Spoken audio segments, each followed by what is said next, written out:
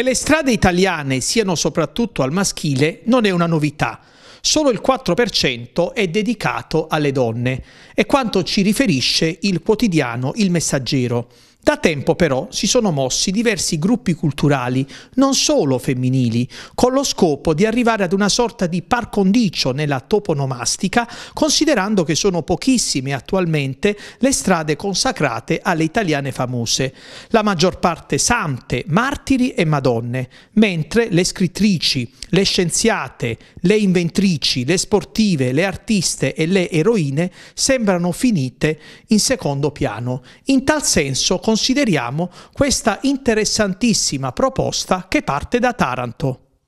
Siamo con l'avvocato Gina Lupo, consigliere di parità della provincia di Taranto, eh, nonché consigliere comunale di Taranto. Nei giorni scorsi ha lanciato un'idea una proposta, quella di eh, intitolare delle strade, delle piazze della città di Taranto a quelle donne, che si sono, eh, donne tarantine che si sono particolarmente distinte. È un riconoscimento non soltanto formale ma in realtà eh, sostanziale. Di qui l'idea di lanciare un contest per far sì che i cittadini segnalino quelle donne che appunto hanno acquisito dei meriti.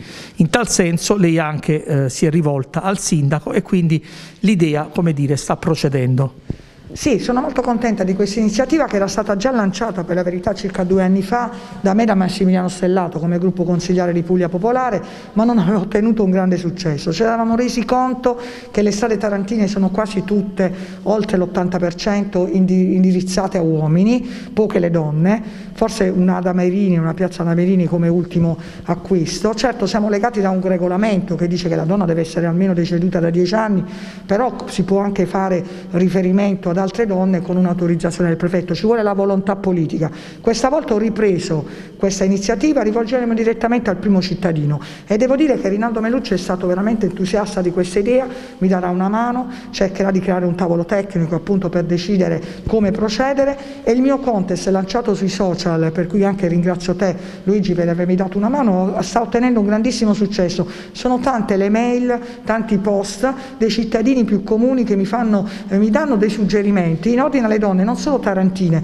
ma anche italiane che hanno fatto la storia e spesso vengono dimenticate. Occorre dare anche una sterzata su questa cosa perché se di parità di genere parliamo dobbiamo parlare di parità di genere in maniera concreta e reale e perché no? Partendo dalle strade perché i nostri bambini e le nostre bambine devono imparare a conoscere il perché dell'intitolazione delle strade, chi sono i personaggi e cominciare ad aprire la loro mente anche verso queste conoscenze. Sono molto felice e invito tra tramite te tutti i cittadini che magari possono. È importante proprio coinvolgere la partecipazione popolare. Nella pagina di Facebook, possono scrivermi nella mia email, possono rivolgersi all'ufficio della consigliera di parità a darmi le loro indicazioni perché io sto annotando tutti i nomi che voi mi state mandando ed è importante questa partecipazione. Ho visto che quindi la sensibilità c'era e non solo da parte delle donne ma devo dire anche da parte di tanti uomini che stanno veramente collaborando e di questo vi ringrazio. È il momento in cui la nostra sensibilità può farci dei risultati e vorrei Taranto capofila in questo in questa battaglia.